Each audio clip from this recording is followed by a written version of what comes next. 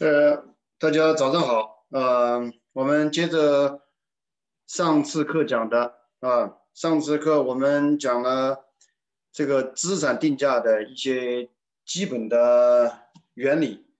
然后我们今天的课程的话，上半节的话把这个资产定价的话把它结束，然后我们进入下一个课题啊，下一个题目就是最优税收啊。好，这个资产定价。好吧，就是说，嗯，简单的来说，我们对于任何一个金融资产理解为什么呢？这个金融资产它给我们带来一定的现金流，这个现金流是在不同的时间，这我们用 T 和不同的叫 contingency，就不同的经济状况 ST 来表示，对。那资产定价的核心就是要把这个资产。在这个不同的 T 一和 ST 下，能给你带来了现金流，然后把它定个价，又就什么呃，就是折现到现在，对不对？然后我们前面讲到，就是说把它定价的核心东西是什么？是依赖于一个叫 stochastic discount factor，那随机折现因子，对不对？我们先讲的时候的话，用一个最 naive 或者最直观的，嗯，最简单的东西的折现，就是根据这这个特定的。状态发生的概率，是吧？然后后来我们意识到这个样做的话不是很完整，因为什么呢？在这个状态下，对，呃，你对一个额外的一个单位的现金流，是吧？one 一块钱，或者或者说这个要一块钱，对，在这个情况下，跟另外一个类似的状况，比方说 T，但是一个 ST 一个 Prime，另外一个一个就一点不同的一个东西，是吧？在这个时候的话，同样是一块钱的现金流，是吧？在这个状况下的话，可能给你带来的边际收益或者说边际效用要远远高于这个。你想想，如果说在这个时候在左边这个的情况下的话，你的收入，你的呃，你本来的自然禀赋已经很高了，而且这里面自然禀赋很低，对，那这样同样是一块钱，对你带来的收益是不一样的。所以那我们反过来讲，就是说，那你定这个价的时候的话。你不能只是考虑说这个事件发生的概率，对吧？还要考虑到在这个事件时候的话，你的状况。所以说，我们前面用了个简单的东西，就用到了它那个相对的叫什么 marginal utility。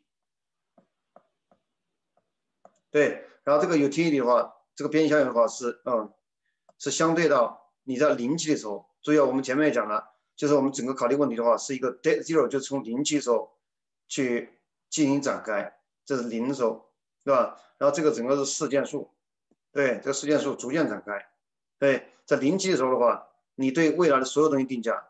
我们前面也讲了，就是说你在任何一个期，比方这里面是任何一个 T S T，对，然后在这个里面站着，你也可以对未来的某一个节点上，对，这个节点可能这个样展开的，对吧？在某一个节点上，这个时候的一个现金流，对，然后在这个站在这个位置。来理解它的价格，啊，那这样有什么帮助呢？就是我们前面讲的话，就是说是站在这个位置来定一个任任意一个资产，它站在这个位置的价格，然后同样的话，你也可以站在一个任意的一个节点上来理解一下，你在这个时候你所面临的一个金融资产它的价格，对吧？然后这样做的好处就在于，你可以考虑下一个叫 sequential trading。而这个 sequential trading 的话是更自然的，就更 natural。对，然后这个 day zero trading 的话，它是不是很自然？但是它的分析时候的话，它把问题大大简化了。简单的说，它是把一个无穷期的问题转换成一个一期的一个静态问题，啊，这是好处。好，那么就简单再回顾一下最后讲到哪里的？我们最后依赖的依赖的是一个这样的典型消费者的问题，对。这个典型的消费者，他呢最大化他的折现过的呢，是吧？带期望的效用，哎。然后这时候就是说，我们假设这个这个整个事件，整个这个经济，或者我们生活的整个世界，怎么展开的？是就刚才说的话，那个是那个就是那个 event 那个事件数一样展开，是吧？所以我们生活在一个离散的世界，哎，然后的话。在每一个状态的话，就是由这个 S 表示，对，然后 S prime 就是表示下面一个，就刚才说那个事件数，啊，逐步逐步展开这个事件。我们生活在理想的世界里面，在同一个时间，你可能有不同的状况，哎，然后同一个时间，你相同的状况，比方说这个样子，这个状况和这个状况，这个这个三角形和这个圆形，你现在的话就是在这个这个这是零一二，都是在第二期，都是处于一个这个，比方这是相当于说这个 S 的话，就两种可能性。一种是天晴，一种是下雨，是吧？在这个零这个这个三角形下面是零，这个圆形的话也是零，就同样的状况，但是它它过去历史不一样。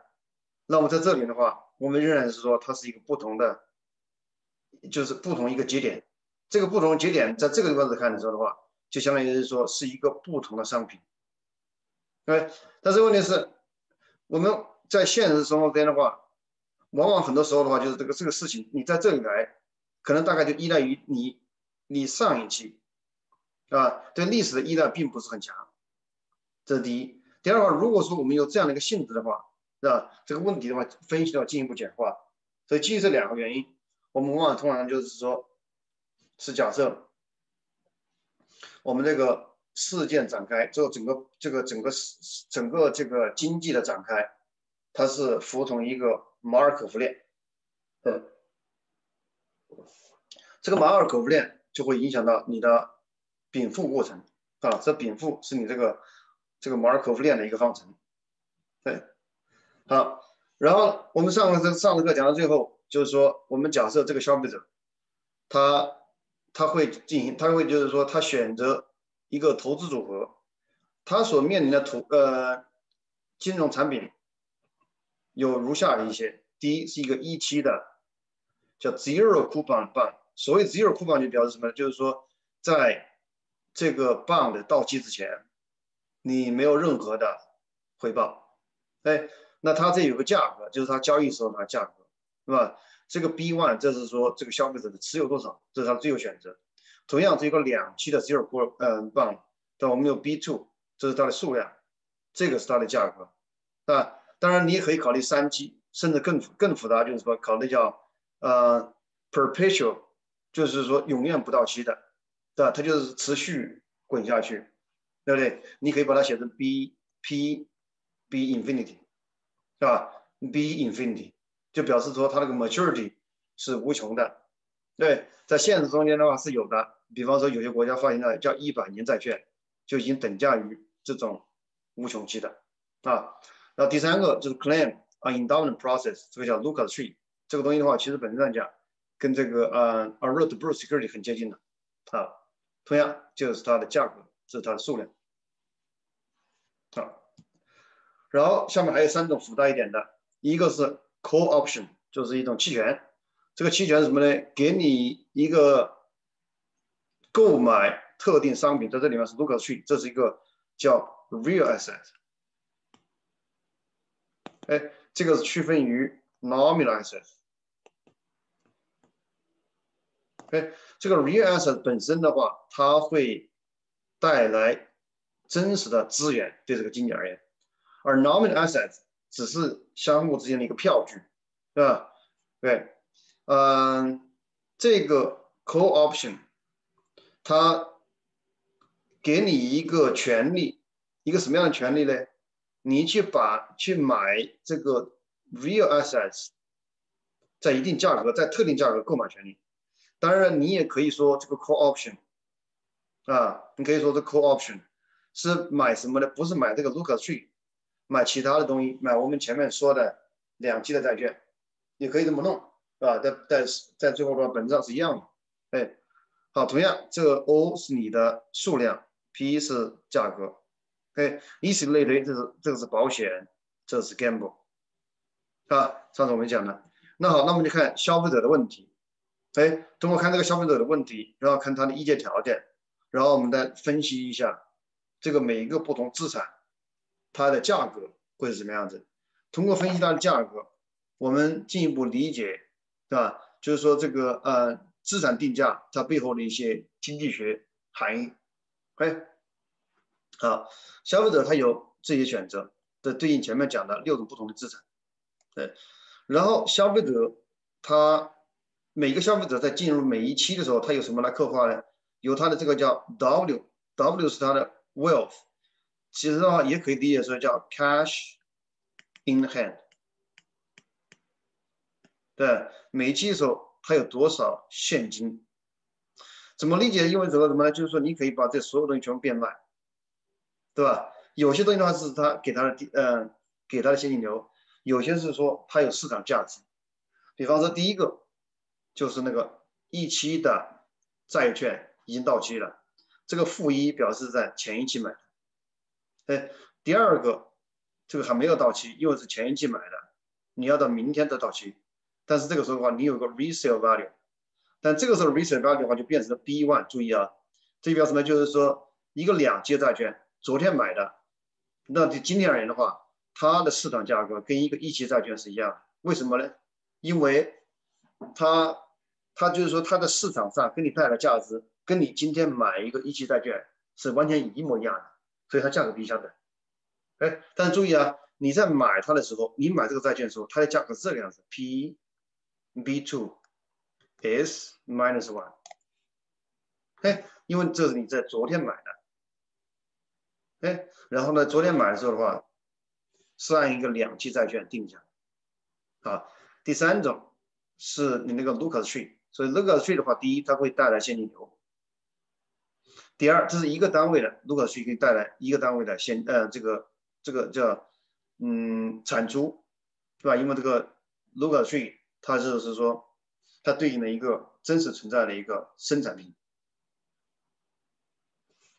这个 PEG 是你就是说我好，我可以把它卖了，哎，这就是给你带来价值的，这第三种。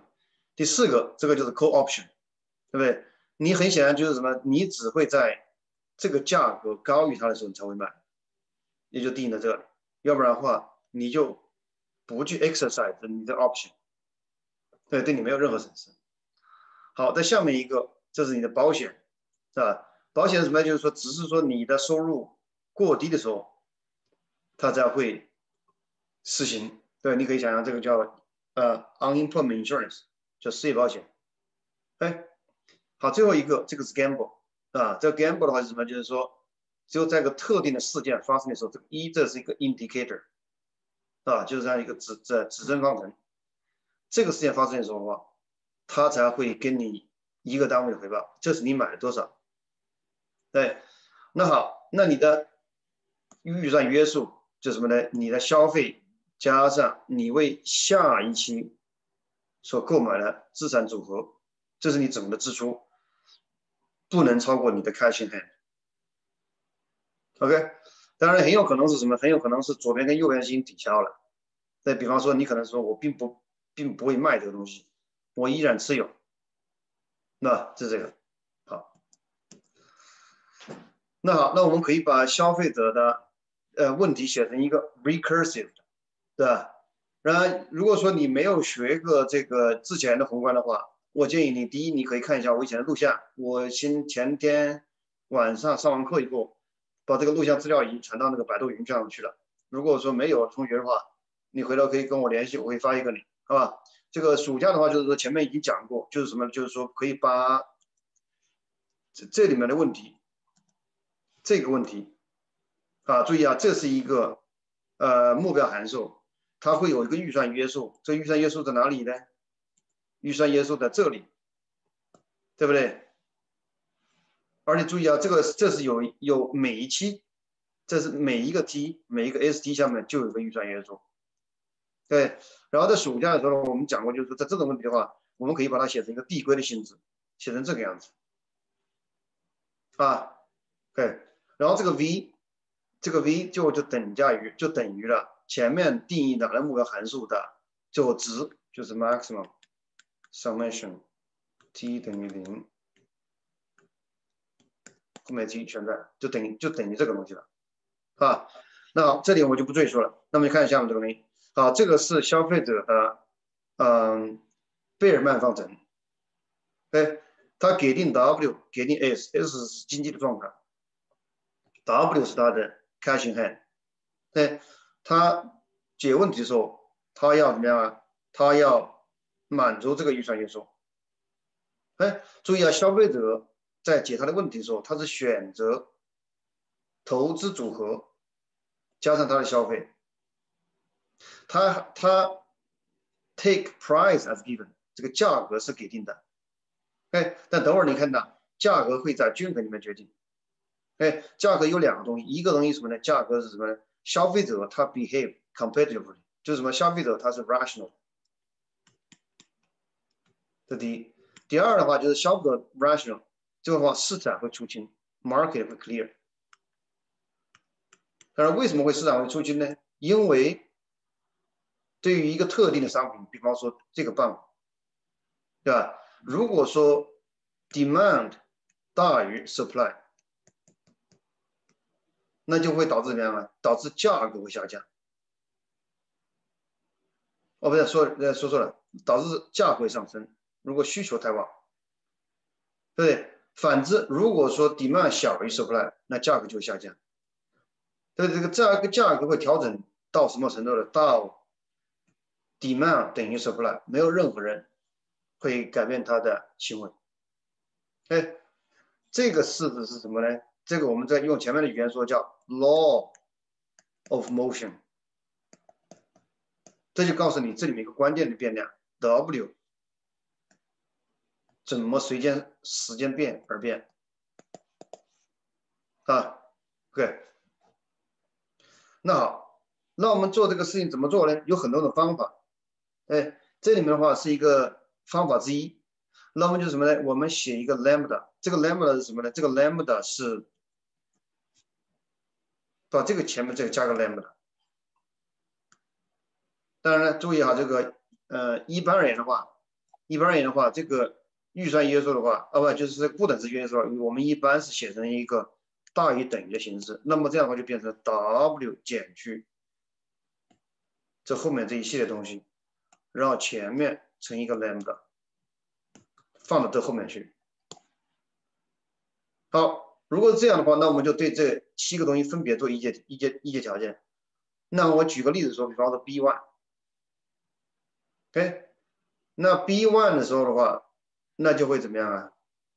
哎，那 B one 你看在这里，这 B one 的时候在这里面，啊，我给你简单讲一讲为什么会这样。你看 B one 在，呃，B one 在那哪里出现过？第一是说你的当期这一期，因为你的预算约束在这里面出现过一次，对不对？但是同时 B one，同时 B one 在。下一期出现过，是吧？因为什么？因为你这个 B one 会进入下一期的 cash in hand，对，那这样的话，我们就得到这个东西了。这是在当期出现的，这是在下一期出现的。因为你这个 B one 这个这个价格或这个这个 B one，这个 B one，是吧？这个是你今天购买的时候，它会影响你的。预算约束，这个是什么？这个是说这个 B one 在明天会给你带来一个单位的边际回报，啊，这是 B one。同样，我们得到了一系列的一阶条件，这 B two 这是对两级债券，是不是？这所有的，啊，这是一阶条件。然后这个一阶条里面有个麻烦事情，什么？这里面是 V，这是 value function。注意啊，我们在写这个 value function 的时候的话，我们其实并不知道 value function 长什么样子，对不对？我们其实 value function 是我们需要刻画或者需要了解一个东西，对，那就麻烦了，对不对？麻烦在哪里？一定程度上讲，什么呢？这个东西的话，其实跟我们的信息很有限，对，有两个麻烦的事情：第一，你 lambda 是什么？你不知道；第二，这个 v 是什么？哦，v 对 w 求导。是什么？你也不知道，对，好，但是有一个东西会帮助到我们，叫 Envelope Theory，叫什么包络定理。这个包络定理讲的什么事呢？简单的说，就是说，好，贴到前面，啊，就是说什么呢？就是说，因为你看啊，因为你这个 V 实际上是对 U 的一系列加总，对不对？你想的话，你不要整个是一系列的 U 加总。那你 V 对这个东西求导的话，OK，就等于 U 对 W 求导。对，但是这个求导的话，就是说什么呢？是就是它什么时候相等呢？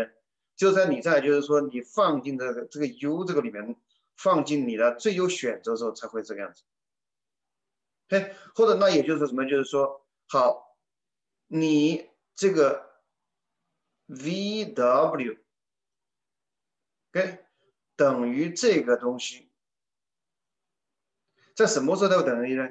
在你消费者做最优决策的时候，那就刚好就是什么？就是说我刚好可以把这个等式放到这里面一阶条件里面，因为这一阶条件就是刻画什么？消费者在做最优决策。哎。那好，那一旦有了这个东西以后，我们就可以把所有的 lambda 就替换掉，v 也替换掉，那我们就得到了下面的一系列东西。这里面有六个式子，哎，然后这里面的话，六个式子分别对应的什么？分别对应的六种资产啊，而且而且每一个资产，我随便举个例子，比方说第一个。啊，第一个资产就是说，这个就是这个式告诉你资产的价格一七磅的的价格，它等于什么呢？用语言说叫 expected payoff discounted by stochastic discount factor。所以这这是什么？就是说这 expected，因为你这买一个单位的这个一七磅，你期望在未来的不同的状况下。对吧？这是 conditional is，因为你是今年的 s 时候买的，对不对？那这个就是说，这个这个 expectation 是 conditional is，明天的 is prime is prime prime 我通常讲的是未来，哎，这是期望。然后呢，你这个 payoff 多少呢？因为这是是一个一期 bond，bond 是个 risk free，payoff 就是一，所以这个一就省去了。然后我们还要怎么对它怎么进行折现呢？通过这个 stochastic discount factor，我们前面已经讲过这个东西，对吧？简单的说，这个 stochastic discount factor 就反映了这个一个单位的商品在不同的情况下给你带来的效用是不同的，对不对？所以说你要把这个考虑进去。这是一期的，这是一期的债券。好，同理。我们看一个两期的，这两期债券，对吧？这是今天的价格。那明天的未来回报是什么呢？明天这个注意啊，这个是 zero coupon，什么意思？就是说我买了，在它到期之前，我没有任何的回报，没有利率，没有利呃没有利息。哎，到什么时候呢？要两期以后才能回报。但是。过了一期以后的话，我总是可以怎么样？可以把这个东西变现，而这个变现的价格是什么呢？就会等于这个一期债券，因为从今从现实意义上是等价，对吧？因为你在明天的时候，你把这个两期债券卖了，对吧？接收它的人，或者对你而言的话，跟你再买一个一期债券，它的实质给你带来的现金流是一模一样的。哎，所以是这个。那好，那同理，我们再就就就再选一个来理解一下，好吧？同理，比方说这个 option，这个稍微复杂一点，对吧？这个 option 说白了也是什么？也是说这个期望的，这个期望是条件期望，对吧？这个什么 stochastic discounted payoff，这是你的 payoff。注意啊，这个加是什么呢？只有这个东西大于零的时候的话，你才会 exercise。如果这个东西小于零的话，你就不动，那你就得不到任何回报，啊，这是这个，好，这些东西都比较直观，好，那行，我们可以对这些东西的话做一些简单的分析，哎，希望得到一些更多的一些 insight，比方说，我们看一下这个 Lucas Tree 的价格，哎，这个 Lucas Tree。价格怎么来呢？你今天买它，你期望的 discounted 的现金流是：第一，这个 Lucas Tree 你知道，它会给你这么多果子，对吧？这个这个是 Lucas Tree 的话，这是它的它的功能，在这个整个经济中间，它就会生产这么多产嗯禀赋出来。除此之外，你到明年的话，你还可以怎么做个什么事情呢？我结了果子以后，我觉得我都不想再经营了，我就把这个树卖了，对吧？当然，这个价格是在均衡里面决定的，对不对？很好。那行，那我们在这个这对这个 PT 加一的话，可以做同样的，跟前面同样的展开。对，那你知道 T 加一，那就不是说在 T 加一时候做个期望的折现的现金流，对吧？只是说把这个东西，这个用这个替换往前一起，我们可以接着往前走，对吧？无非就是这个什么东西，这个东西，同样同理用这个东西进行展开。那我们持续怎么做下去，就会发现了这么个东西。哎，那这是什么呢？这是这就回到我们之前做的，对吧？就是什么？就是说一个商品的价格，或者这里面是叫金融商品的价格，就等于它期望的折现过的现金流，就把所有的可能的现金流全部加在一起。对，这就类似我们之前说的叫 time zero trading。但是我们现在建立这个问题的时候的话，set up 这个模型的时候的话，是用什么？是用 sequential trading。但是你看最后得到的结果是一模一样的，因为它背后的经济含义就是一样的，好吧？OK，所以我们以这个东西的话，还可以做进一步做一些分析，啊，了解一下更有意思的一些经济问题，对。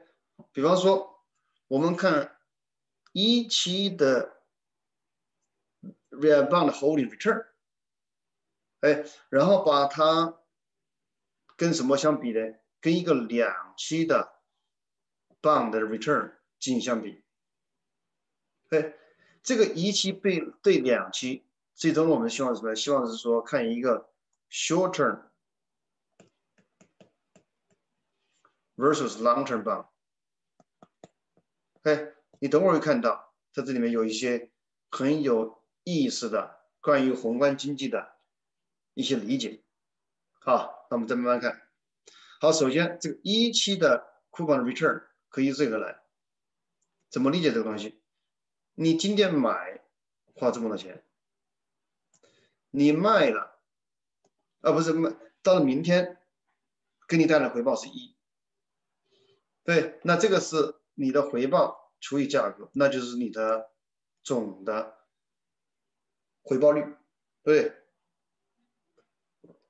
通常这个东西是大于一的，也就是说，通常 interest rate 是大于零的，或大于等于零，是吧？OK，好，然后你看，在这个 return。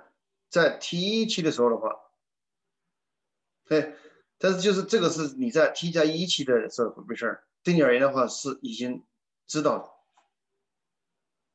对不对？OK，嗯，但是它呢，仍然是一个什么？是一个就提起的 information 而言的话，就信息而言的话，是一个 random variable。对，但是问题是这个是已经确定知道了，对吧？因为这里面就是主要是因为未来的回报的话，一是已经确定的，所以说呢，我们很多时候就是把这个这个这个一期的棒的话叫 risk-free return，这个 RF 就表示 free，哎，所以这个一期的 zero coupon 就代表了无风险资产的回报，对，常常通常的话作为一个参照物。好，那我们看两期，对，两期这个。呃，同样也是一个 zero coupon bond，它的 return，对，你买它这，当然我们这个看的是什么呢？看是说，如果说我在 T 一期时候买，T 一加一期的时候的回报，OK，那好，你 T 一时候买，价格在这里，对吧？T 一加一时候的话。如果说你你持续持续持呃持续持有的话，你得了什么呢？得到零的现金流，但是对你带来市场价值什么？你可以把它卖了，当一个一期的债券卖了，对，那也就是说这个时候它的价。OK，好，那你看这个 RBT，就是说你在 T 期的时候，T 期的时候，哎，呃，RBT T 期的时候，两期债券跟一期债券比，比他们的回报率，哎，这个 T 在 T 期的时候，一个一期的债券，它的回报是。一个确定性的，而 T 一期的时候，你买了一个两期债券，在下一期给你带来的回报是一个不确定性的。OK，这个很大程度上依赖于你下一期、下一期的时候，一个一期债券价格是多少？哎，这是有有有一点的区别。当然，当然我们可以看以后看的话，更呃，就是说一个一期的。跟一个更长期的债券之间价格的区别。哎，好，我们也可以看看其他的，嗯，至少我们刚刚考虑的股票，哎，这是股票的回报，对吧？这什么？这是你购买时候的价格，在下一期，这是它的市场价格。这是这个股票可以带来的回报。当然，这个里面是这里面股票的话，实际上就等价我们前面讲的这个 Lucas Tree，因为这个是唯一的一个真实的东西可以投资。就像你你拥有的一个 share of the Lucas Tree，是吧？OK，so 一般而言，根据这们前面的推导，一般而言，这个净的回报就这种 long-term security，就是长期债券，它的回报。等于什么呢？你的分母是它的价格，分子是什么？是你这个债券在下一期时候能给你带来的带来的利益，呃，带来的呃叫利润，也不叫利润，呃，带来的收入。对，哪两个收入呢？一个就是 capital gain，就是什么？就相当于说你把它卖了，或者它的市场价值，加上它给你带来的红利。哎，就这个。好，同理，你可以看看这个 insurance 和 gamble 赌博，是吧？同样都是用什么？用它的这个给你带来的现金流除以你购买时候的价格，是吧？对。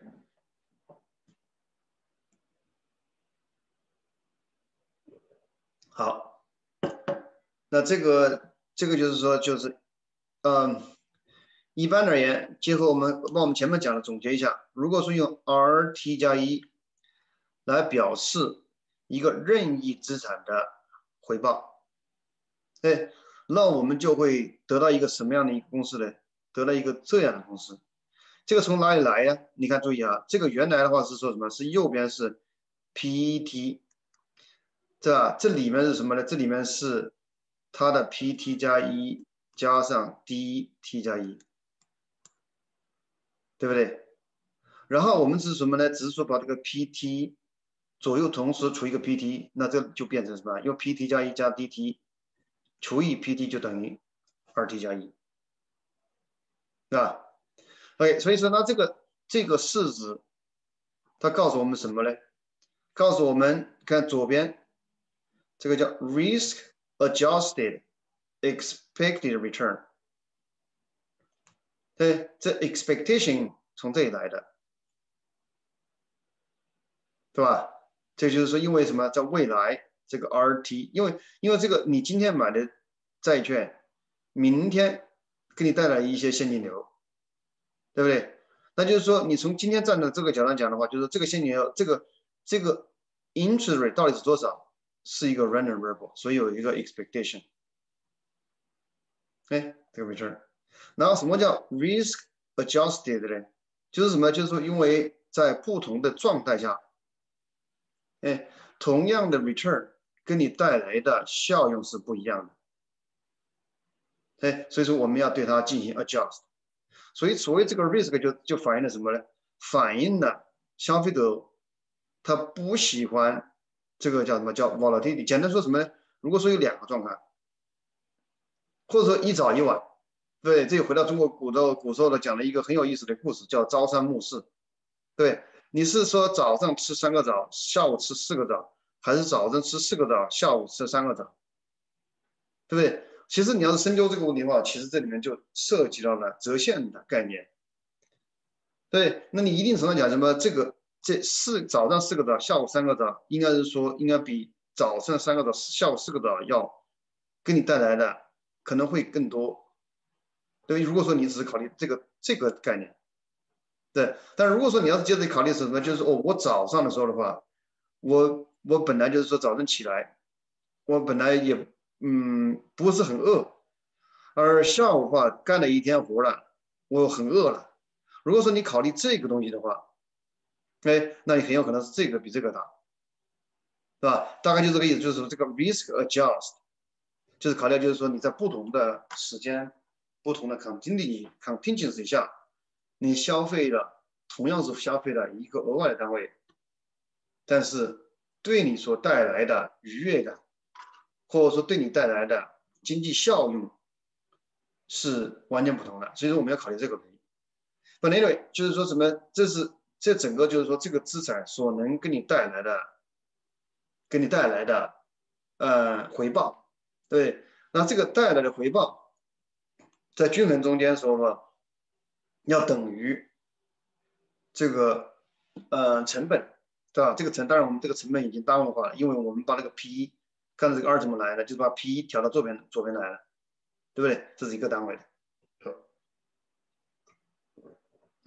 我们前面提过了，叫 risk free，对不对？那么通常在资产定价里的话，我们就会把这个 risk free 这个东西作为一个参照系，叫 benchmark。哎，这个 risk free 它的你要做这个对这个做这分析的话。是吧？这个 risk free，它那个也是一。那你这个这里面只是什么？只是说我把这个式子，任何一个资产式子，然后同样的话，这个也你可以写一个同样的东西，对吧？然后这个是 r t 加 e f，这个也等于零，然后把这个式子减去这个式子，就得到这个式子。那这个式子的意义在哪里？你注意啊，这个 r f 这个东西。在你提的时候的话，这个尽管是个变长，这尽管是一个 random variable，但它的 return 是已经知道的。所以说，所以说你可以把这个东西，这个东西就做一个参照系。同时的话，就是这二者之间的区别，我们通常管它叫叫 premium 红利，这是一个金融资产跟一个 risk free 资产之间的差异。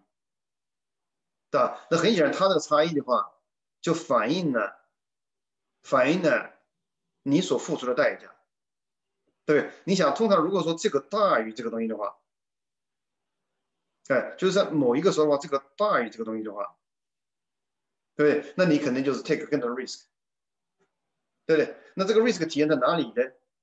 那可能就体现在这个东西要怎么样啊？这个要小一点。对，我把它重新抄了，好吧？因为这个式子必须是要成立的，是吧？那好，那如果说有个金融资产，对，如果说在某一个特定的时刻，就这个东西要很大，OK，那你这个要要平衡要等于零的话，那就必须要要求什么？要求在那个特定的 T 和特定的 S，这应该是 T 加一和 S。T 加一，在这个特定的节点上，这个就要小。那这个要小，那是什么意思啊？那就是相对而言的话，就是说你的 CT 加一就大，对不对？那这个时候就进入一个一个悖论了。你 CT 加一加大的时候的话，我这个时候的话，我额外的一个收入的话，一个单位的话。收入的话，价值就我就变小了。在我最不需要它的时候，你给我更多的回报，对，那么这也就反过来讲什么？就是说这个资产的话，它之所以能给我更多的回报，就在于什么呢？就在于它并没有跟我提供一个保障，因为这个金融资产你本来就是说是要实现什么？是跨期之间，或者说在不同的呃状况之间，好坏的状况之间的一种一种平衡。对，那你就是你一个资产之所以能给我提供这么多回报，它必然是什么？就是肯定我要付出一些代价，代价是什么？就是这个资产只是在在我不好的时候，它跟我的回报低；好的时候跟我回报高，啊，这个我们等会儿还会接着对这个问题进行展开再说的。好，好，那行，那我们进做进一步的分析，我们要理解。什么样的 risk 应该得到了补偿？这都是根据我们前面的这个资产定价基本的、基本的公式得出来啊。这基于这个东西。哎，这我们刚刚讲的。好，然后的话，对这个公式的话，我们可以做一个简单的展开啊。从这一步到这一步，这个大概是在你们学统计或者学叫计量里面。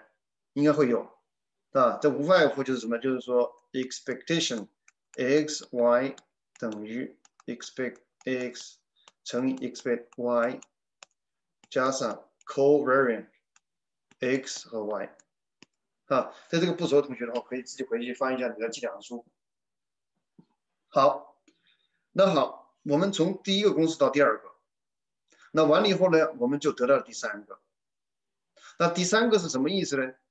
好，我们看看左边，左边这是 RF，这是个 risk free，是完全无风险的啊。然后等一下，我给你看个 risk free 的话，大家要看一下这个东西。这里面的话，risk free 等于什么东西啊？这个 risk free 这个 return 的话，A A R F 就等于什么？就等于，我想想哈，这应该乘以 R F 等于一。因为是那个，那你这个 risk free 的话就等于呃一除以 expected beta u prime ct 加一除以 u prime ct。哎，然后刚才有一个东西忘了说，当然呢，可能大家也没有太注意，是吧？就是说我们在整个这个所有定价的时候的话，这里面的话，我们都是依赖于 ct。来进行定价的，对，那细心的同学可能就问，那你这 CT 我们该关到前面，你 CT 不是你的一个控制变量吗？然后完了以后，你所有的价格定义，呃，价格定价在均衡里面定价，又依赖于 C，那你 C 到底等于多少呢？哎。所以这个问题的话，就回到我们前面我说的，就是什么呢？就是说我们还有一个东西啊，什么叫叫 market clearing？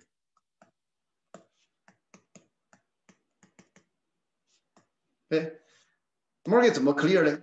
就是说以这个为例，这个 P 这个这个价格要使得怎么样啊？使得所有的人对。这个的需求 B 一的需求加总等于零，哎，同样这个大家对它的需求也等于零，但这个就不一样了，这一个大家对它的需求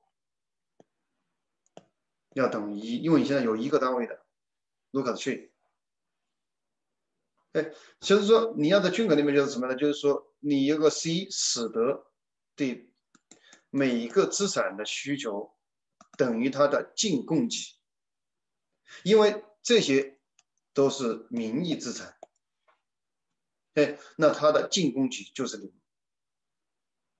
因为你想嘛，你要是说我买一个债券，买债券是什么概念呢？就相当于是你把钱借给别人，对不对？你是存钱方，那必然有一个借钱，两个人一一买一卖，就必然就抵消了。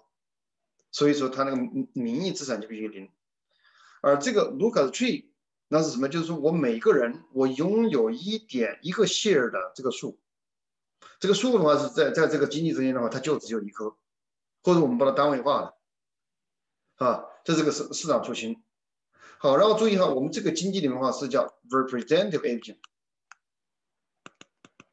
什么意思？每个人一样，那每个人的话选择也会一样。这里面可能是叫 I，那这样的话每个人选择一样就表示什么？就是每个人的话 B one B zero 等于零，这个 Z 等于一，所有东西等于零，很貌似就是说毫无交易可言，但是呢，就是恰恰就是什么？就是这个 representative agent 就帮助了我们了。就是我们找到了一个价格，使得怎么样啊？使得，就这边在这个没有交易情况下的话，你也知道它这个商品的话，一旦有交易了，它价格会怎么样子？然后如果说你理解了这个 market clearing 的话，那你就很应该很快你应该明白，这个 C 就等于 YS，对，也就是这个呃经济的总的引导，哎。那好，这是前面的一点漏的。那好，那我们就回接着回到了这个嗯，risk free 这个东西。对，OK，所以说落脚点在这里面，risk free 这个东西，啊，哦，这个 risk free 的话就怎么样？最后就依赖于什么？依赖于 u prime ct 加一，这个 ct 加一就可以替换成什么？yt 加一除以 u prime yt。哎，这是个完全无风险的。然后我们可把任何一个我们感兴趣的金融资产来跟这个 risk-free 的 bond 进行比较，然后我们比较以后就会发现这么一个公式。那这是个什么意思呢？首先想一想，如果说这个东西要很大，怎么样才可能很大？两种可能性。一种是什么呢？是这个 covariant 是什么样啊？是负的，而且负的越多越好，或者什么呢？或者这个东西越小越好。好，首先你看这个东西，首先看一个个看，看第一个，这个是负的，表示什么？表示。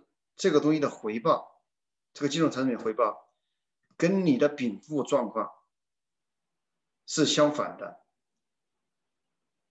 对，所以你知道，就是你越穷的时候，对，你的回报越高。但是呢，这个这个 irony 或者说这个讽刺的东西在哪里呢？或者说这个整个这个背后的。含义在哪里？就是说，这个资产它给你带来了这么高的回报，但是它它有一个叫什么？叫叫一就有一个叫就是 trade off。方它就什么？就是说，你想的话，为什么会有一个资产回报高和资和一个资产回报高的东西同时存在？而且为什么就是说你会在两个资产之间的话做个选择，甚至说你会在均衡时会 indifferent？它必须有个 trade off。trade off 什么呢？就是说，这个高回报的期，当然这是个期望哈，期望给你带来高回报的东西，OK，它会给你带来一个成本，成本在什么呢？当你最需要钱的时候，当你最需要钱的时候，它给你带来东西，哦，好像说错了，因为就是这个是负的嘛，因为这个是要跟你负相关，就是什么？就是说，呃，你这个大，这个就小。这叫负相关，对不对？呃，对，这个就小，而这个小是什么意思啊？那就是什么？你要 c t 加一很大，就是你本来，然后注意啊，我们前面 c t 加一就本来就等于 y t 加一的，什么意思？就是 r t 在什么时候高呢？哦，r t 加一什么时候高呢？在你禀赋很充沛的时候，它才会给你提高很高的 r，反之，在你的禀赋很低的时候。他给你回报会很少，那这就是个 trade off。这个资产给你带来了，名义上给你带来了很高的 return，但这个 return 是什么呢？是在你是在你最需要它的时候，它最它越不给你；而在你越不需要的时候，它越给你。所以说，这个资产的话，它给你带来了高的回报，但是没有帮助到你去怎么样啊？去实现风险的规避。那一个金融资产最好最好金融资产，你需要什么？你是需要在高的和低之间一个平衡。注意啊，我们都有听的方一般是 concave，对不对？你希望像这样的东西，对不对？是 concave 的，对不对？所以，但是它这个东西就是说，这个这样的一个这个这个金融资产的话，就没有需要这个东西。所以这就是说，这里面就有一个 trade off，这也就是这一个啊这个公司的背后的经济含义啊。好，然后的话，嗯，这一这一个这一个 slide 的话，就把我刚才说的东西的话做了一个进一步展开啊，大家可以自己读一下。嗯，我就不。赘述了，这主要就是这里面，households prefer less variation of consumption due to risk aversion，就是刚才刚才说这个东西啊，因为你看这个是说没有风险，这个是这一块这一块，你想想就是这什么，就是比方说我是 risk free，对不对？然后这种话就是说，就这样的，你可能还要这样低一点，对吧？如果说你 concave 呢，就是说你要就是说你要要很高的时候。我才能比它一样，啊，我重新再画一下吧，这是个什么概念？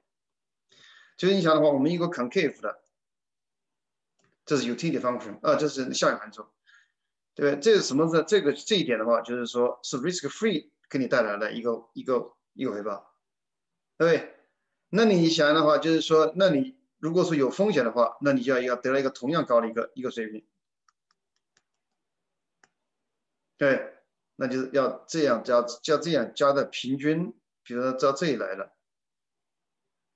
他才给你得了同样的，对不对？但是注意哈，你你你这加这个跟这个比的话，你看你预期的 return 要高这么多，你才你才会对你而言的话才会呃一样，对吧？你看注意这个横轴是你的 consumption。纵轴是你的 utility，对不对？你这个中间的话，这个三角形的话，相当于是说你购买了一个 risk-free asset，那你明天的话确保就有这么多的消费。而这两边的话是什么？买了一个 risky asset，有时候低，有时候高，对不对？那就是说，如果说它那个就是它那个差异很大的话，那你就什么？这个也不要变得大，啊，这就是用个图来简单的。讲了下前面那个事实的呃含义。对，好，我们看一个特殊的例子。哎，现在发现，如果说这个消费者的话是 risk neutral，哎，那 risk neutral 的例子很简单，这个 U C 是 linear 线性的。哎，那你这个 U prime 的话是个 constant，那。随机折现因子的话也是个 constant，那你这个随机折现因子跟 R 之间关系就等于零了。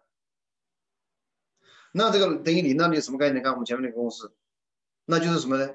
如果说是 risk neutral 的，那任何一个金融资产，它带来的期望的回报，就是跟那个 risk free 是一样的。OK，所以我不需要任何 risk premium，因为对我而言的话，risk。我我我根本就不 care risk 啊，所以呢，在这种情况下，price of security 它就等于它的 expected discount payout，这就是我们刚开始最开始起始的时候吧，就是用这个 probability 来 value 这个现金流就行了。当然，这个是在 risk neutral 的时候，而我们现在讲的话是 risk aversion，是吧？你不喜欢这个 variation，那所有的 story 就不一样了，是吧？好。然后下面的话，我们再进一步讲一讲，呃，insurance 和 gamble，啊，理解一下它的 return。OK，好，这个 insurance 它的 return 是这个，对不对？这就是什么？就是说，如果说我的消费，当然这里面消费等于我的 income 小于这个 m 的话，我就会有一个单位的 return。对，这个一就是表示什么？就如果说这个事件发生了，那我就有一个单位，啊，当然了，我付的价格是 P。哎，那好，那这个就比如说说这是一个概率，对吧？这就等于这个的概率。哎，这个没问题。那行，那我们看看这个价格。这个价格是什么呢？是期望的、随机折现的未来的回报，对吧？好，我们做一些简单的数学转换。我们这个数学转换是什么呢？是你看啊，这个等于这个，那你乘一个这个除一个这个，它不会变值。对，这这两个相等的话，从这来，这这是跟它跟它定义来的。但是问题是，我们可以可以怎么样啊？可以把这两个东西合在一起。那这个两个东西合在一起以后，就变成一个条件是吧。这个是根据从哪里？这是根据那个贝叶斯公式。啊，这个这个不熟的同学回去翻一下自己的那个统计学啊。这个是贝叶斯公式，啊，这个一个先念概率和后念概率从哪个来的？哎，好，那问题是。这个会帮助我们得到什么东西呢？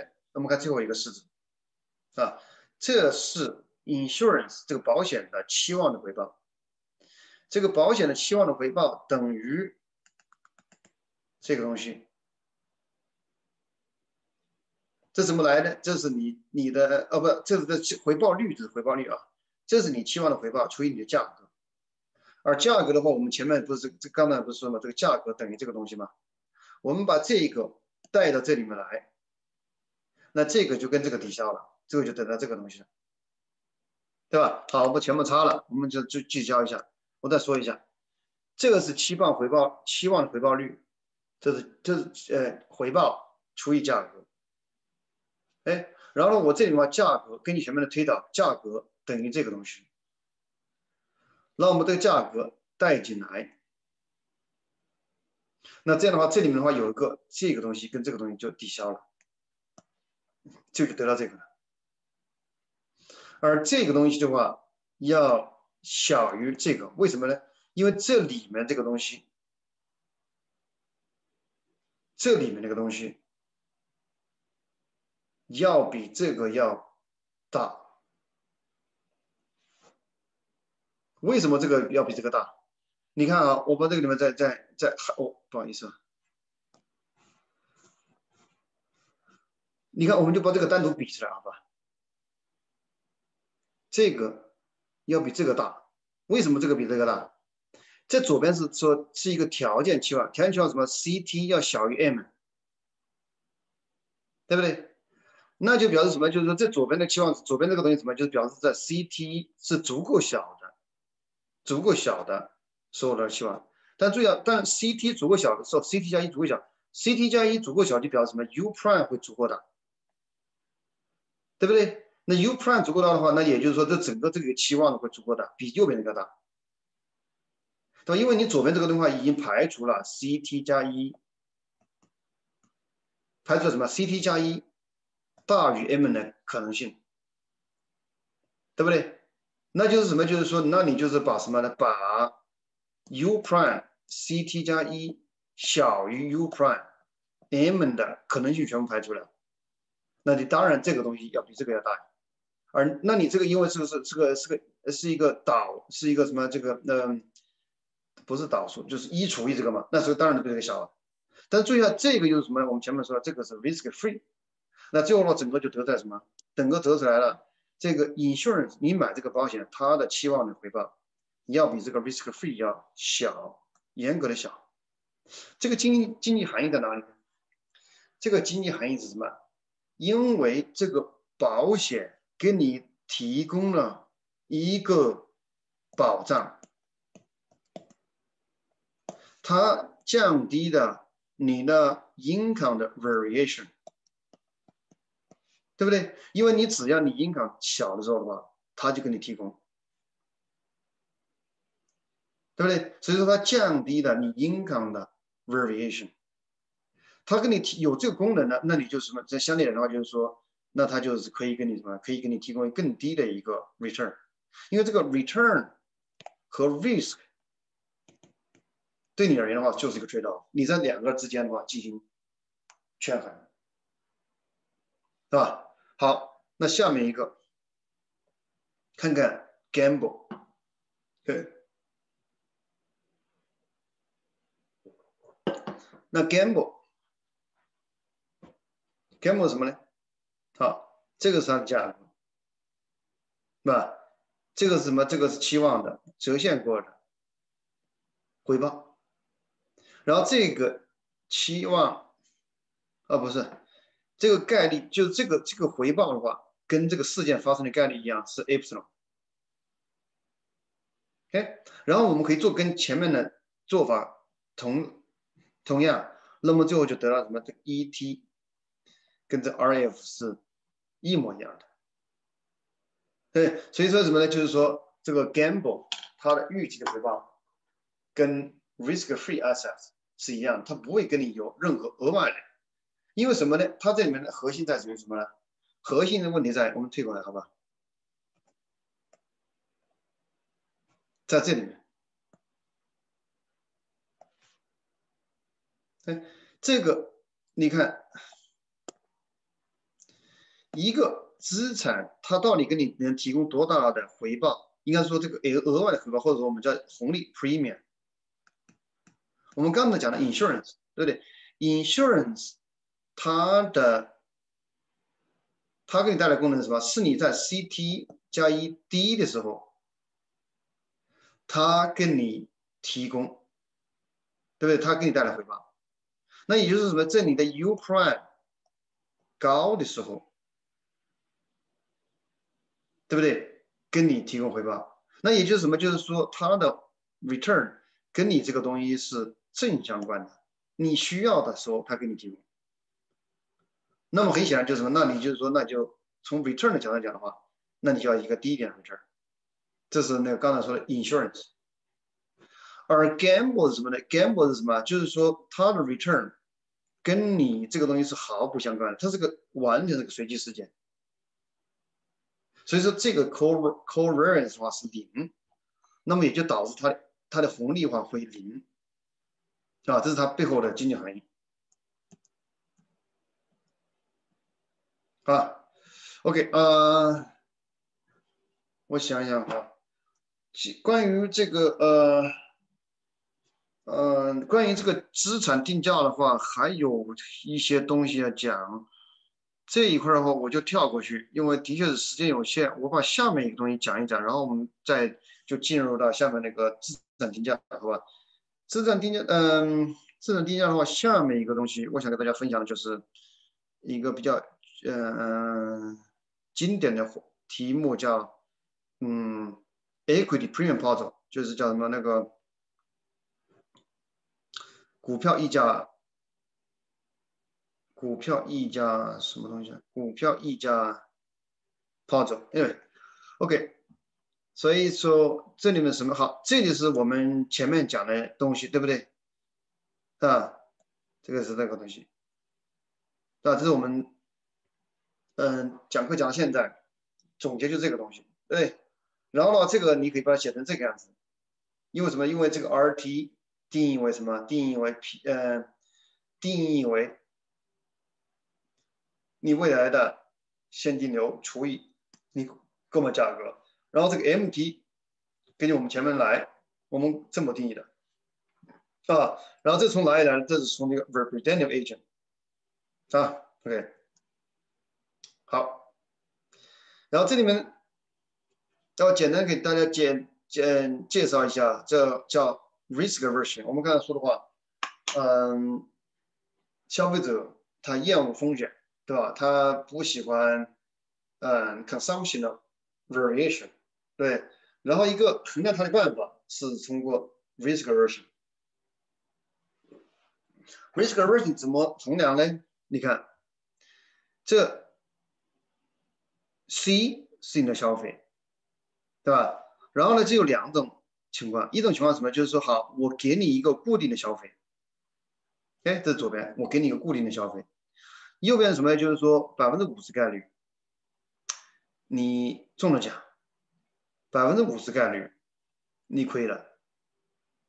那么这个 risk aversion 它怎么来衡量呢？就是什么？就是说我问消费者，你愿意出多少钱，或者说你愿意付我多少钱，然后使得什么？使得你在二者之间选择，呃，你选择 indifference，就是我无所谓，是吧？然后答案一般是说，就是你当然就是在家可以就是说做一些那个叫什么，做一些那个，呃，现在是做做叫流行叫叫叫做 experiment，对吧？就是实验经济学。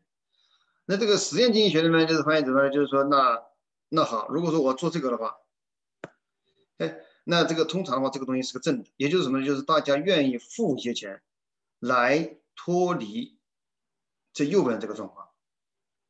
而当然，这个牌就衡量了在多大程度上消费者他对风险的厌恶，因为这边是个风险，对吧？就是说你有高有低，对不对？然后这个东西这个东西越高，就表示你更厌恶这个风险；越低，就表示你不厌恶。你想，如果是是 U C 等于 C 的话，那它就是风险中中中性的，那就无所谓，那这个牌就等于零了，对不对？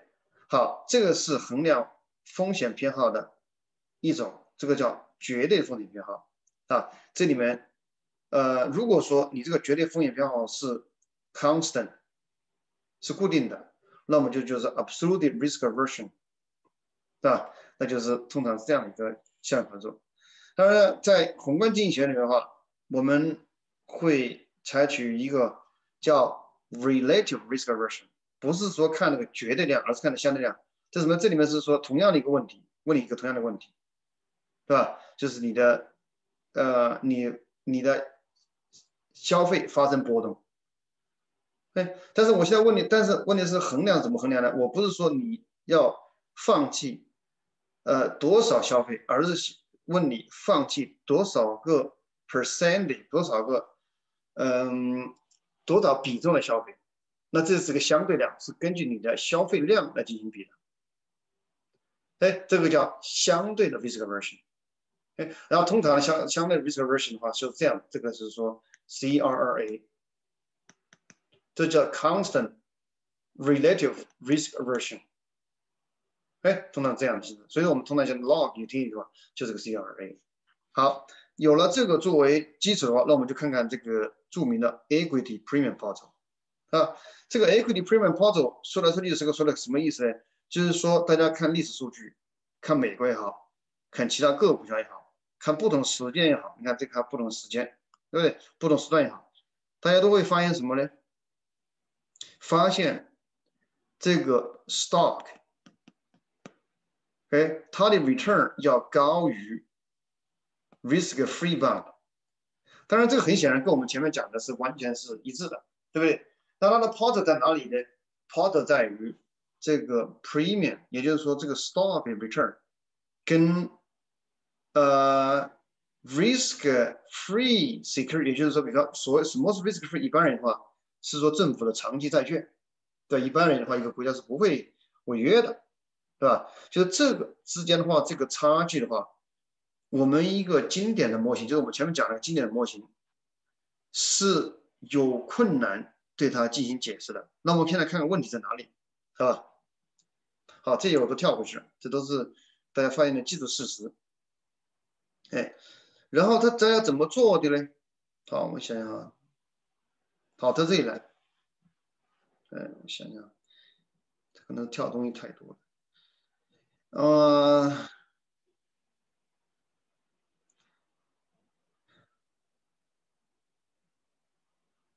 哎，好，就看这个式子吧。哎，这个式子，这左边实际上就给你了什么？因为这个 RTF 就等于什么？等于这个现在相当于是说，就相当于是 PT 嘛。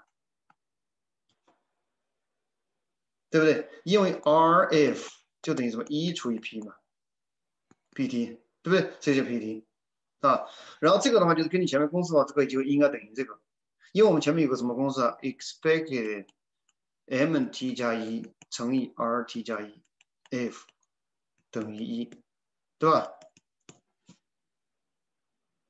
哎，那好，那这个这个是我们之前得来公式来的。那这个 risk free 的话，那这里面那个贝塔就是在这个这里面，因为那个 m 是等于在贝塔乘以 u c t 加一除以 u c t，对不对？这是 m。然后我们把这个贝塔提出来，然后这两个东西的话就是你的 u。OK，然后为什么这里面会是个是 U 会体现这个形式？首先就是说，你看这里面这个有 T 的方程的话是 C 一减的伽马除以一减的伽马，你这要求导的话就变成 C 的负伽马。而这个 lambda 什么 lambda 的话，这里面是就是叫做有一个是就是有一个叫呃，它有个 consumption growth，哎，所以就变成了就是最后的话，这里面这个 margin T 的话，你可以把它就今天跟明天一除。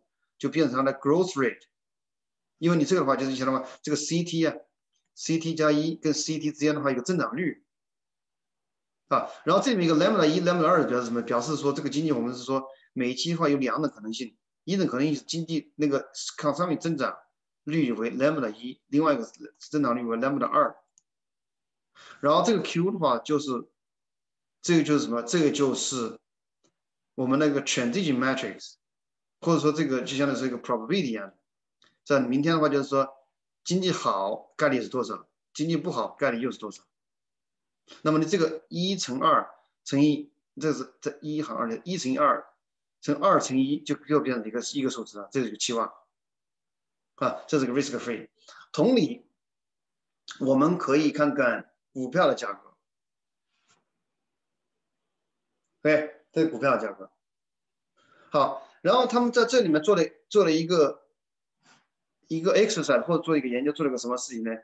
是说好，你这是我们背后的理论，那我们把真实的数据全部带进去，哎，然后的话，根据真实数据，我看看这个 RF 跟 RS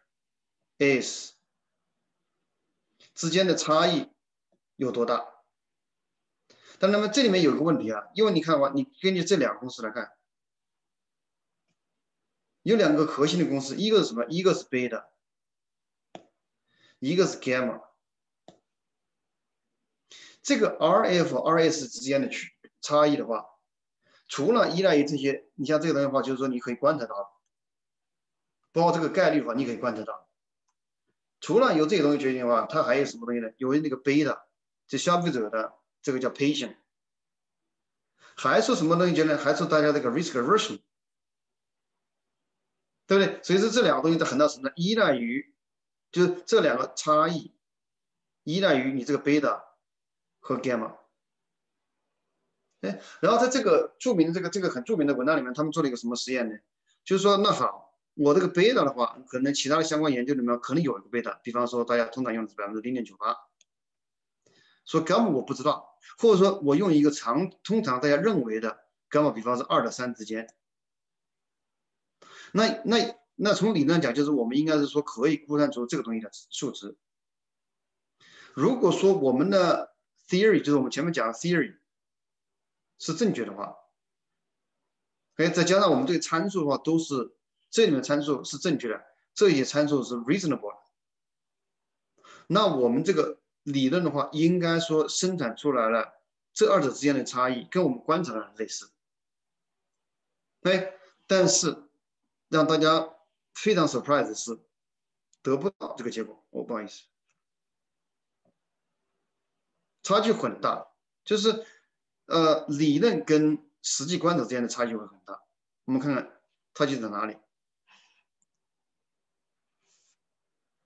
OK。这个这个是什么意思？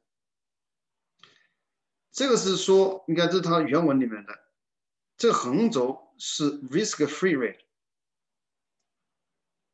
哎，这个纵轴，这个纵轴是呃 risk premium，就是什么这个 equity 和 risk-free 之间的区别，那。然后这个是什么？这个区间是什么？这个是说，好，我们给定一个比较常用的贝塔和伽马，刚才强调说，这个是消费者的偏好，呃，不是那个 preference，就是你那个 patience，这个是你那个 risk aversion。然后给你这个就是比较正常范围的数据的话，它这个之间的差距的话，只能会在这里。但是实际上，我们你如果说，呃，我们要就可我们可以看看数据。你看这个数据，你比方说英国战后这个数据大概百分之四、百分之五。对，你看德国这差距，日本这都很大。对，然后呢，他们就发现就是说，简单说什么呢，就是说，你在一个正常范围的 risk aversion 加上这个 patient 理论。所能产生出来，然后你把这个理论 fit in，就是放进去，我们观察到的数据，然后你发现这个 risk premium 太低，哎，它要生产出我们观察到的这个 risk premium，它必须要 gamma 要接近于百分呃接近二十到三十，在通常的宏观文献里面，gamma 在二到三之间。所以这是一个著名的 equity premium model，啊，后面衍生的一系列的研究，嗯，基于时间的关系，我这个我想想哈，对，关于这个资产定价，我就讲到这里。我们先休息十到十五分钟，然后我们进入下一个呃课题，讨论资产定，呃，讨论那个自由税收。